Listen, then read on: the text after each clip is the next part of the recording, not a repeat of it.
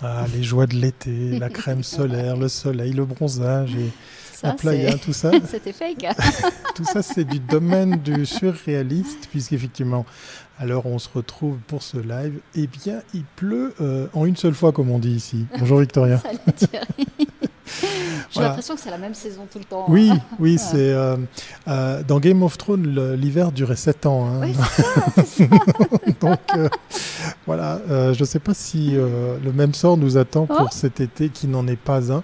Quoi qu'il en soit, on continue les Comin Mag Live de 12h30 à 13h. Et puis comme on est aujourd'hui, puis c'est la dernière semaine, effectivement, on va vous le répéter tous les jours puisqu'après on fait la pause estivale. Quand je dis estival. On fait une pause. On fait une pause, voilà. Euh, et du coup, eh bien, aujourd'hui mardi, c'est Comin Mag Live Traveling. Traveling, on, a un traveling. On va faire connaissance avec une agence. Allez, c'est parti.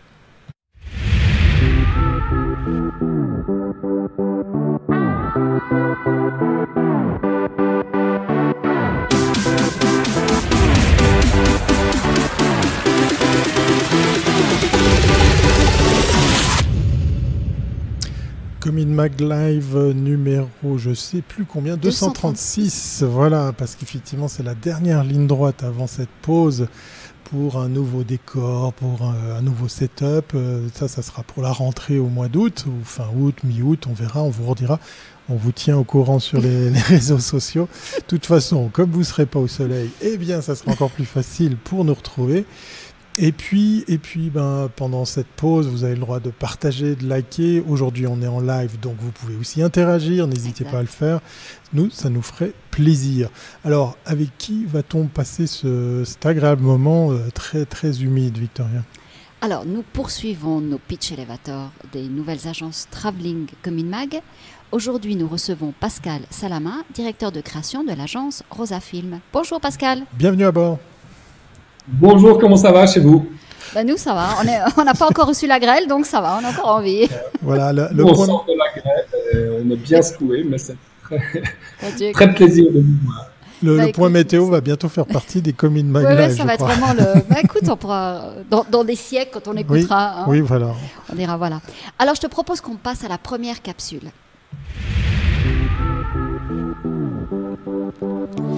Un premier jingle pour faire connaissance avec notre invité, Victoria. Bah oui, alors Pascal, raconte-nous tout. Tu t'es brièvement résumé comme un hyperactif. Alors, explique-nous tout ce que tu fais. Alors c'est, je ne sais pas si je suis hyperactif. En tout cas, j'ai jamais été diagnostiqué. Par contre, je suis extrêmement curieux et je crois que c'est ce qui euh, sous-tend tout mon, tout mon parcours. Euh, donc effectivement, j'ai commencé par, euh, par faire des études de lettres, euh, j'ai fait des études d'art dramatique aussi, le cinéma m'a toujours passionné. Et puis dans les années 80, je suis parti en Angleterre où j'ai fait une école de cinéma. Donc il n'y avait pas d'école en Suisse à l'époque, c'était juste pas possible, il fallait s'exiler. Moi, je voulais rompre avec la langue française, rompre avec la culture française que j'adore, la culture francophone que j'adore et euh, apprendre d'une autre manière. Donc je suis parti en Angleterre où j'ai passé 5-6 euh, euh, ans dans les années 80 et puis début des années 90. Et puis ensuite, là, j'ai acquis d'abord une, formation de réalisateur. C'est le métier que j'ai acquis. J'ai fait ce qui maintenant s'appelle un, un, Master in Filmmaking. donc, c'est vraiment pour, produire, pour produire des films. Et puis, euh, à l'époque, j'hésitais à revenir en Suisse, pas revenir en Suisse. Les premières propositions de travail que j'ai eues euh, sont venues de Suisse. En Angleterre, j'ai fait de l'assistanat, des choses de ce style, mais il a quand je suis revenu en Suisse, on proposait plus. Euh, il n'y avait pas beaucoup de travail en Suisse romande, donc je suis parti à Zurich. et là, il a fallu me mettre à l'amont. Ça, c'est un détail amusant, puisque mes deux pires langues en, mes deux pires branches à l'école, c'était l'allemand et l'anglais. Finalement, je suis allé étudier en anglais. et puis, par aller travailler à Zurich, où je me suis même mis euh, au Schweizerdeutsch, que je parle maintenant couramment. Donc, c'est euh, assez curieux. Et donc là, j'ai travaillé comme euh, superviseur de post-production euh, dans le plus gros studio de Suisse à l'époque, où j'ai fait plusieurs années. Donc, le superviseur de post-production, il va coordonner toutes les pubs. Il va dire là, on va faire tel effet spécial, là, on va faire tel effet spécial. Et puis, euh, comment est-ce qu'on va gérer les choses, comment est-ce que le montage va se passer, à quel moment on va faire quoi? Euh, et ce parcours-là m'a amené à, ensuite à devenir réalisateur où j'ai fait beaucoup de pubs et de, de corporate movies. Et au niveau des, pubs, je sais pas combien j'en ai fait, mais Movies, je crois qu'il y a une dizaine d'années, j'ai calculé. Les corporate, j'ai dû en faire plus de 1000. Ah. Donc ça fait quand même, ça fait quand même beaucoup au, travers des années. Et puis en parallèle, comme j'ai toujours eu un intérêt pour le théâtre, euh, l'événementiel, j'ai j'ai eu un pied là-dedans et j'ai participé à, des événements. J'ai fait beaucoup de concepts d'événements. Par exemple, pour le, le, centenaire d'ABB, euh, j'ai fait tout un concept de pièces de théâtre bourrées d'effets spéciaux en direct avec des flammes qui sortaient, euh, des gens qui descendent du ciel. Euh, j'ai toujours aimé ces choses-là où on mélange les effets et les techniques. De nouveau, c'est cet aspect curieux de ma nature qui fait que j'essaie toujours d'amener le mélange des techniques. Je crois que c'est mhm. la base de mon intérêt. Et puis, euh, donc j'ai mené les deux choses de front. Puis un jour, euh, voilà, ma femme, euh, qui n'était pas encore ma femme à l'époque, m'a annoncé qu'on allait avoir un nouveau monde dans la famille. C'était dans la fin des années 90. Et là, il se trouve que l'enfant est né en Suisse romande et que ben, je suis resté en Suisse romande. Alors que je travaillais plutôt sur Munich et sur Zurich pour faire des, des tatortes et ce genre de choses-là. En arrivant en Suisse romande, j'ai découvert un, un tout autre marché euh, une façon de travailler qui était différente à la fin des années 90. Et là, j'ai fait un peu de télé, j'ai fait du live, j'ai été réalisateur live, j'ai fait des adaptations de pièces de théâtre dans des châteaux pour la télévision romande qui qu'on tournait. Donc, il fallait. C'était un nouveau métier, une nouvelle façon de travailler. Petit à petit, euh, j'ai fait aussi des corporate movies. Et puis, on a euh, gentiment euh, mis un pied euh, aussi dans, les événements. Mais en Suisse romande, c'est pas les mêmes événements. Donc, c'était des, assemblées générales, des assemblées de personnel où on se connectait, comme euh, je peux vous le dire en off avant, avec la Norvège, la Chine, tous les pays possibles et imaginables. En même temps, il fallait mettre en scène le CEO de la grande multinationale, parce qu'il y en a plein en Suisse romande. On louait l'arena, on faisait un spectacle en direct pour les employés, donc l'arena pleine, une scène, mais en parallèle des duplex avec tout le monde. Donc c'est des choses qu'il faut écrire. Il faut comprendre euh, comment fonctionne euh, le client pour pouvoir raconter son histoire, le mettre en valeur, le mettre en scène. Et puis là, de nouveau, revient le mélange des techniques. Euh, en 2002, enfin un peu avant, mes connexions zurichoises m'ont permis d'être un des seuls scénographes romans à l'Expo 02. Et donc là, j'ai mis en scène le pavillon, enfin j'ai créé le pavillon des sports c'était un, cinéma en 360 degrés. Je ne sais pas si vous avez eu l'occasion d'y aller. On avait truffé du vélo et on avait fait un film en 360 degrés où les spectateurs qui venaient pouvaient pédaler et faisaient bouger le film autour d'eux et les sons. On a fait des mixages sons 24 pistes. Le but, c'était de faire ressentir à monsieur et madame tout le monde des émotions qui sont dans la tête d'un sportif au moment de l'effort. Ce qui est intéressant, ça c'est un parallèle, c'est qu'à partir de ce moment-là, j'ai développé une passion pour le sport et que comme je suis un hyperactif non diagnostiqué, très curieux, j'ai retrouvé gentiment à la tête d'une fédération sportive, puisque je suis le président de la Fédération suisse de triathlon, je suis membre du, du board de la Fédération européenne, vice-président des pays francophones. Donc, cette passion ne m'a pas quitté depuis. Donc, c'est assez intéressant. euh, dans le parcours professionnel, ensuite, j'ai eu la chance de collaborer à au lancement de beaucoup de campagnes. je faisais partie des gens qui... J'étais là quand la première usine Nespresso s'est construite. À partir de là, j'ai beaucoup travaillé pour Nespresso. J'ai fait beaucoup de corporate. J'ai mis en place euh, beaucoup de communication visuelle qui perdure maintenant. Euh, j'ai fait beaucoup d'événements pour eux aussi. J'ai fait le tour On va revenir sur les travaux de l'agence, sur la présentation. Mais enfin voilà, on voit que ton parcours. Euh, donc, euh, Rosa. Tu es, un touche à tout donc, et vraiment. Donc plutôt image, réalisation, c'est vraiment ça ton domaine.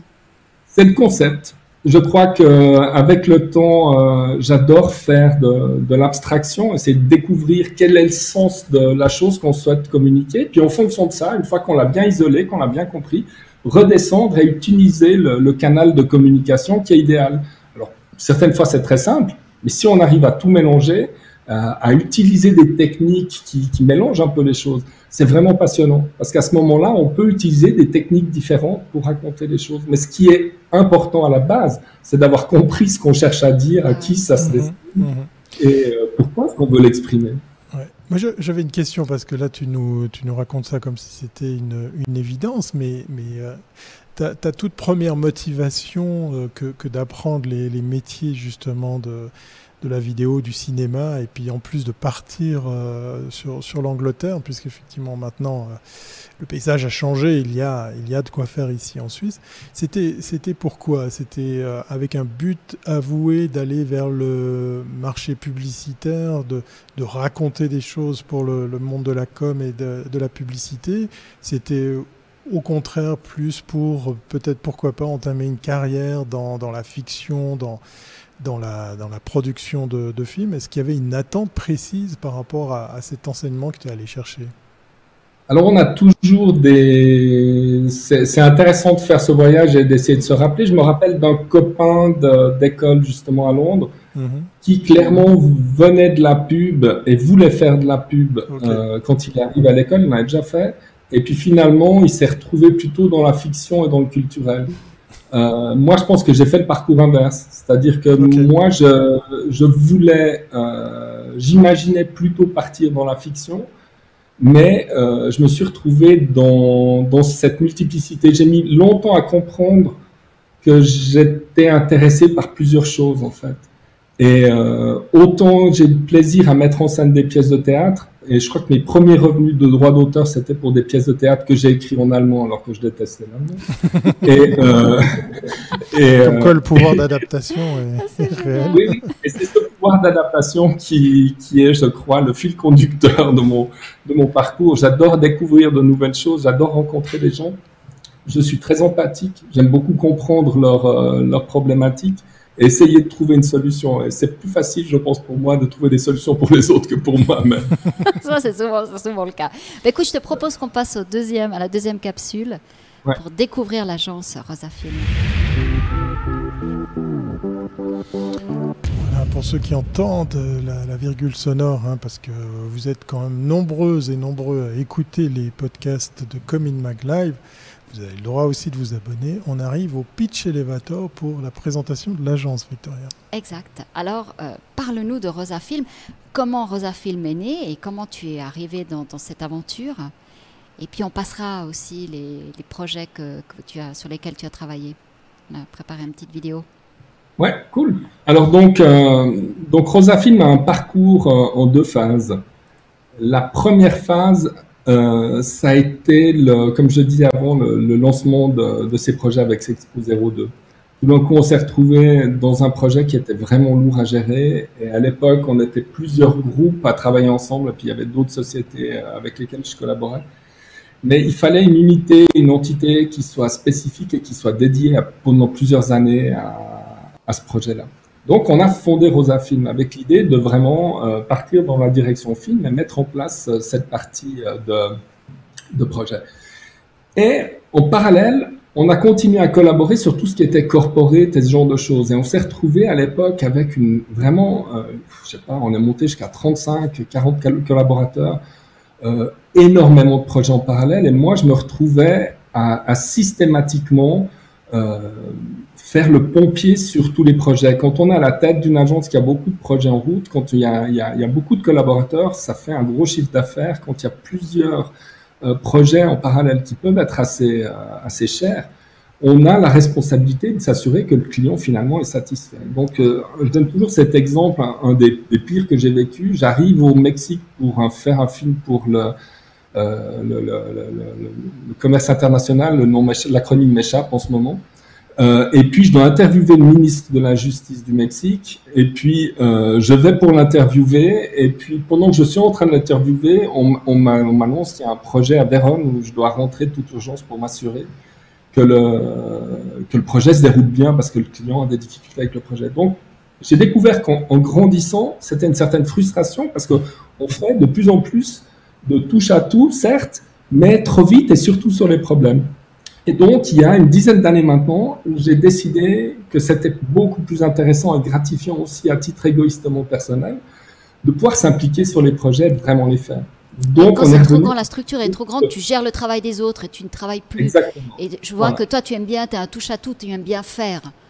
Et c'est ce qui me faisait vivre et j'ai mis longtemps à le comprendre que pour moi, c'était important de participer au projet et aussi de dire ce que je souhaitais qu'on qu fasse, mais de le faire aussi, d'avoir le plaisir de revenir à, au métier que j'ai appris. Et donc, il y a, il y a une dizaine d'années, on a décidé de, de, vraiment de maigrir. On est passé à une petite structure avec 4-5 personnes euh, qui varient. On peut monter jusqu'à 8, ça dépend. Où on se recentre sur l'idée, sur le concept, et puis on travaille principalement sur la communication interne.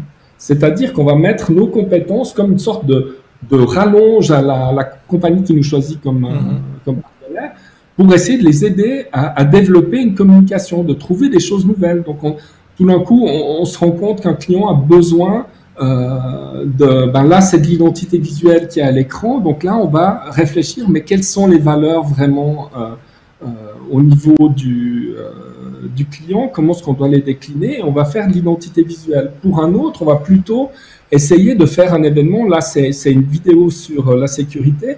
Et on s'est dit, mais tiens, comment est-ce qu'on peut essayer d'impliquer la personne pour qu'elle comprenne qu'elle doit respecter sa sécurité? Donc on est parti sur un film interactif.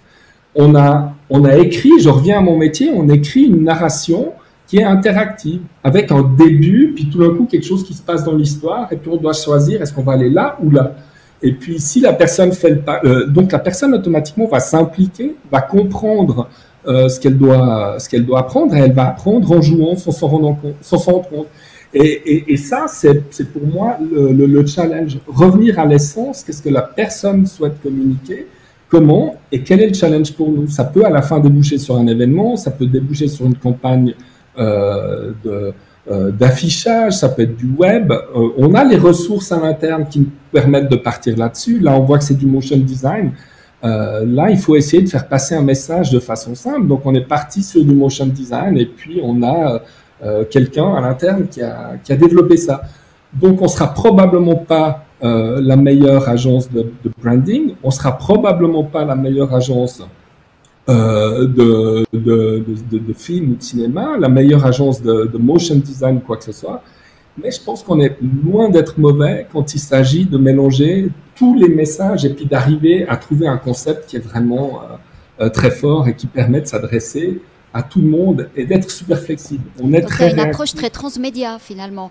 Euh, tu, tu, tu, te mets, tu te places du côté de, du, de ton client, tu réfléchis à même des fois au-delà de lui-même, parce que très souvent on, on, entend très bien, les clients n'ont pas vraiment une idée concrète de ce, dont, euh, de ce qui leur manque.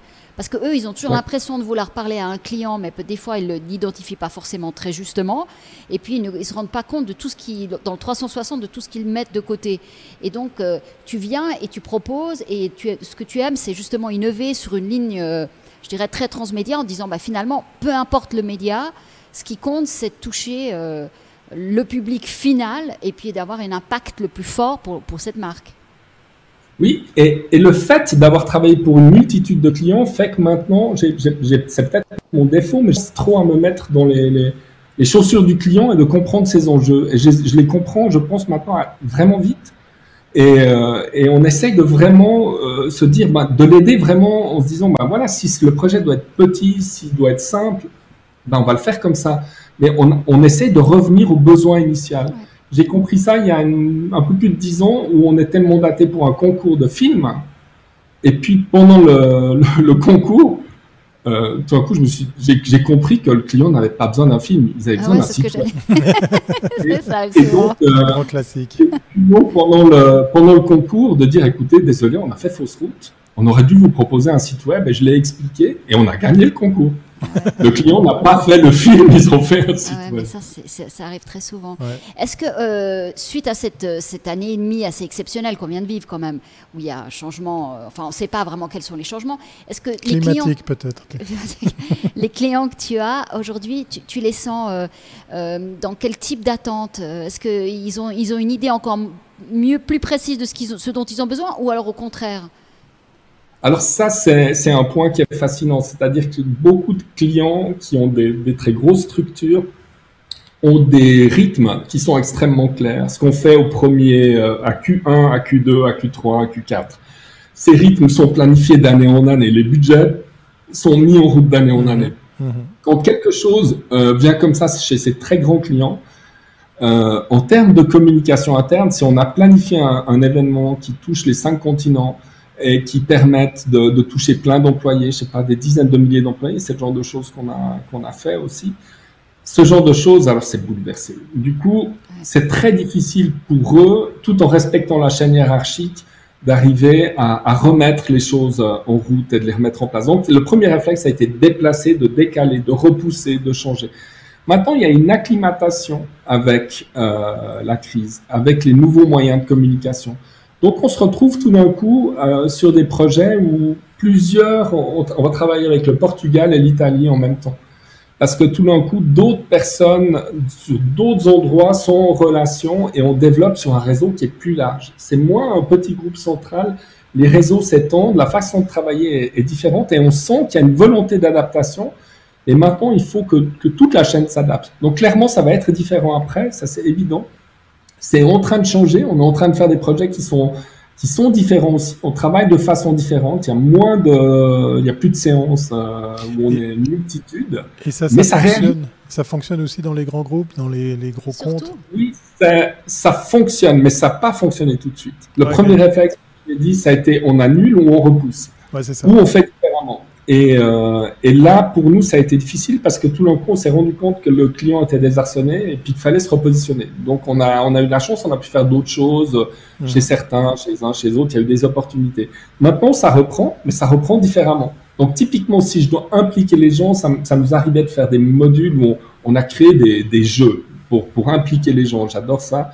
Euh, on fait une formation, il faut motiver les gens. Donc, on va, on va créer des jeux de cartes euh, on, va essayer de désarçonner les gens en, leur faisant faire des choses inhabituelles.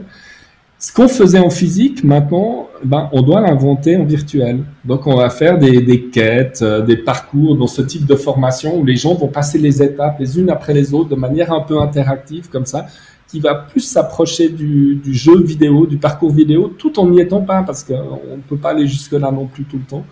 Et donc, clairement, nous, on doit amener des solutions nouvelles la problématique reste la même et le client doit gérer une, logistique qui a complètement changé. D'accord. Donc, pour résumer, pour revenir à ton agence, euh, tu peux, euh, vous êtes opérationnel sur tout type de support, que ce soit digital, web, euh, médias classiques. Vraiment, vous faites de tout.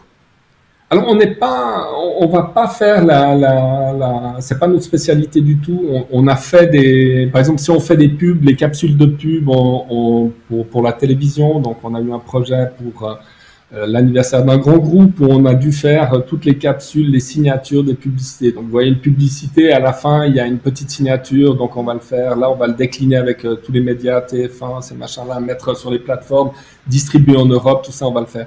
Par contre, si on nous demande de, gérer une campagne d'affichage, de, on ne sera pas les meilleurs et on n'a pas ces ressources à l'interne. Par contre, si on nous demande de gérer le concept de la communication pour que vraiment on arrive à décliner qu'est-ce qu'il faut mettre en affiche, qu'est-ce qu'il faut mettre là et faire ce design, alors là, oui, ça va marcher.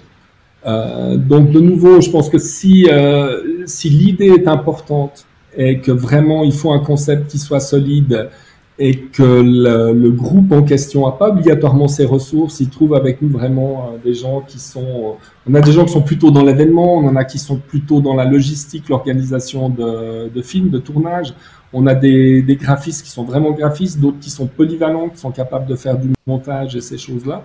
Et puis si c'est un gros tournage, quand on fait un gros tournage où il y a besoin de 30 personnes, de toute façon c'est toujours des freelance. Donc nous, on va amener le noyau, euh, le noyau central et puis après, on va s'appuyer sur le réseau de, freelance qu'on a. D'accord, bah écoute, euh, c'est parfait, on a bien compris comment fonctionne ton agence. On va passer à la troisième capsule, euh, la boîte les boîtes à questions, comme ça, c'est aussi une manière très intéressante de, bah, un peu comme tes jeux de cartes là, de sortir du, de la ligne. Sortir du cadre, allez c'est parti.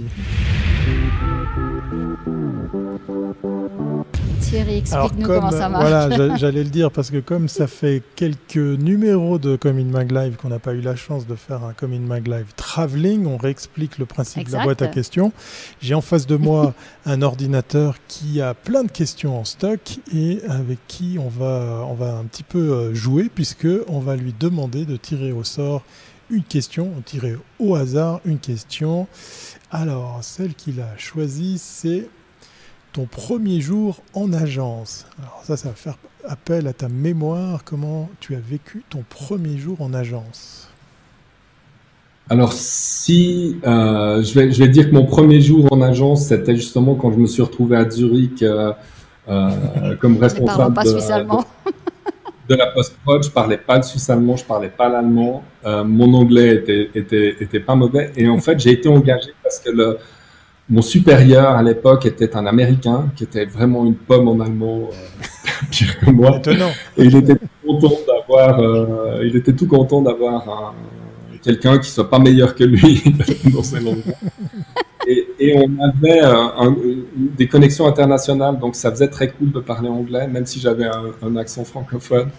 Et, euh, et, donc pour eux, c'était ce côté exotique. Mais je sais que c'était très difficile parce que moi, j'étais habitué à travailler en tant que freelance et à travailler, travailler. tout d'un coup, je me retrouve avec une quarantaine de collègues qu'il faut coacher, qu'il faut gérer, avec certains qui avaient une vision de la vie qui était différente et euh, avec des studios. Donc, euh, de passer d'une certaine liberté du freelance qui est ciblée dans certaines directions à une agence où on a certes un, un potentiel énorme, mais il faut gérer des, des sensibilités, des techniques différentes euh, j'étais vraiment, je crois, assez paniqué au début.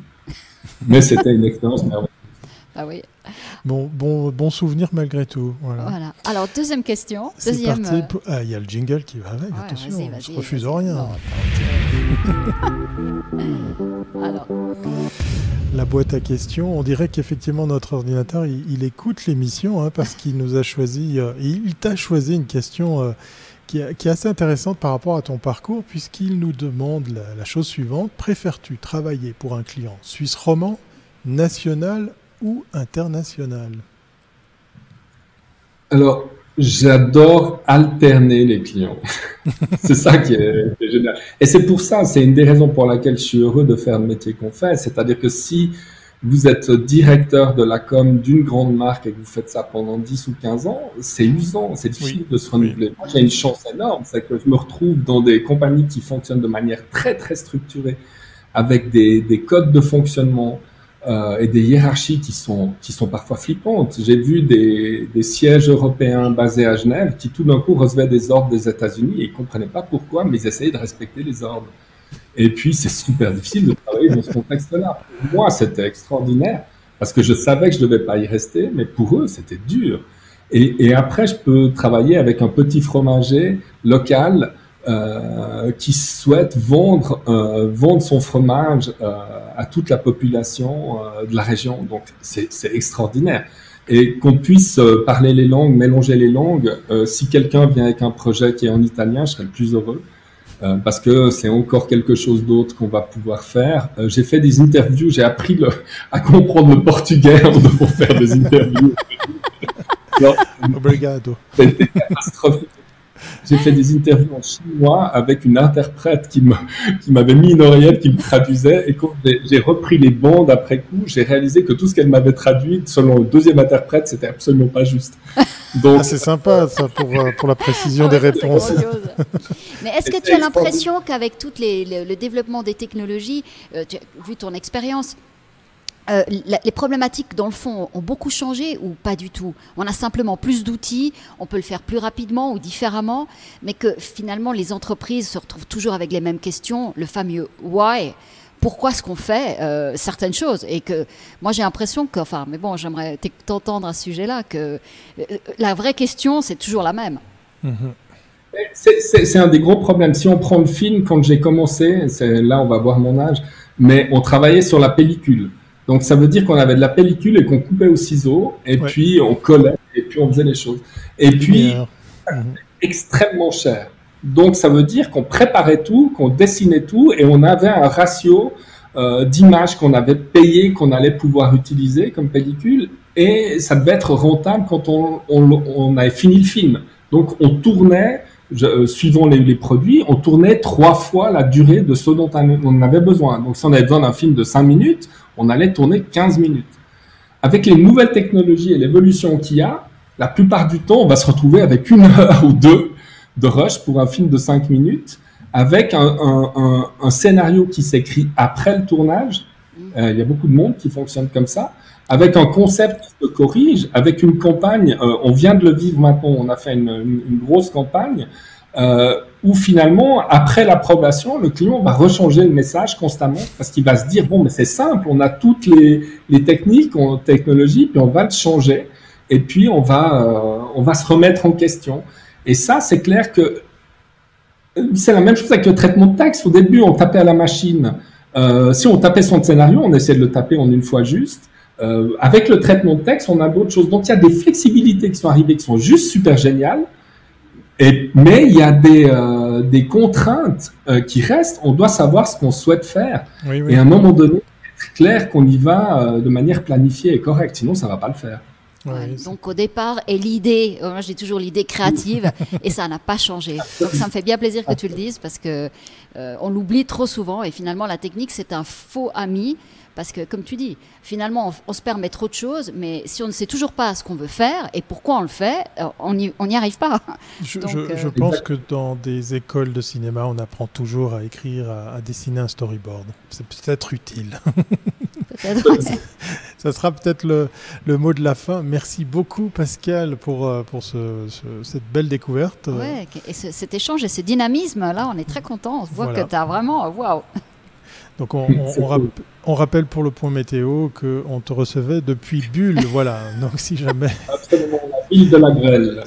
Non, j'espère que c'est fini. on a une pensée émue pour celles et ceux qui vont récupérer leur véhicule un petit peu euh, cabossé. Merci beaucoup, Pascal. Et puis, effectivement, on va se dire à, à très très bientôt pour Et tiens-nous au courant pour voilà, l'actualité de, parce de- que de ton agence. voilà, nous on est toujours, alors on est toujours à la recherche de directeurs de création pour nos, nos lives du lundi créatif. Voilà. On fera appel à toi. L'invitation est lancée. Voilà. Merci. Merci Bye bye. beaucoup. À bientôt. Au revoir. Bye. Voilà, on arrive au terme de ce 236e épisode de Eh Commune Mag Live. On n'est que mardi, c'est une grosse, grosse semaine, puisqu'effectivement, on vous le répète, eh bien, Ouais, c'est ouais. la dernière semaine de cette saison. On fera une petite pause. J'arrête d'utiliser le mot estival. Et puis, euh, demain, mercredi, on se retrouve pour un, un sacré rendez-vous. Ouais, hein. C'est c'est Un du lourd. spécial Cannes Lions Voilà. 2021.